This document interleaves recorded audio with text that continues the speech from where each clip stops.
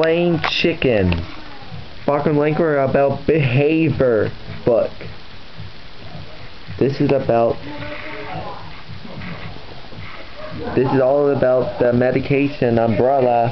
He was using a coach. He was smiling that man I've never seen. He was using a star and he liked the mon on some money. Oops. He was the two of you contest. He was punching. They were punching in his face. Then it's like Barn Barnyard Dawg won.